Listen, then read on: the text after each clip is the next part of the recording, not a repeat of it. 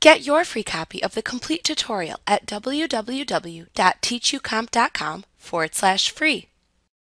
To change the troubleshooting settings in Windows 11, open the Settings window and click the System button at the left side of the screen to show the system settings for your device.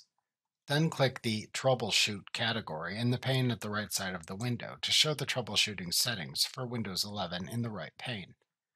A link to the Open Diagnostics and Feedback settings may appear at the top of the Troubleshoot settings, depending on your Windows data sharing with Microsoft. If you click this link, you'll open the Diagnostics and Feedback settings of the Privacy and Security settings in Windows 11, which we will discuss later in the course.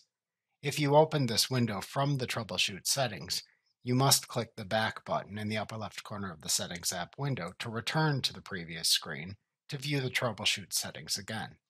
To set the default troubleshooter preferences to apply in Windows 11, select a choice from the Recommended Troubleshooter Preferences settings dropdown. The default choice is to ask me before running a troubleshooter to fix an issue. To view the history of recommended troubleshooters you have run in Windows 11, click the Recommended Troubleshooter History setting button to view the history at the right side of the Settings app window. To return to the troubleshoot settings, then click the Troubleshoot link in the breadcrumb navigation at the top of the window to view the Windows 11 troubleshooters and manually run them if needed. Click the Other Troubleshooters Setting button to view the list of troubleshooters at the right side of the Settings app window.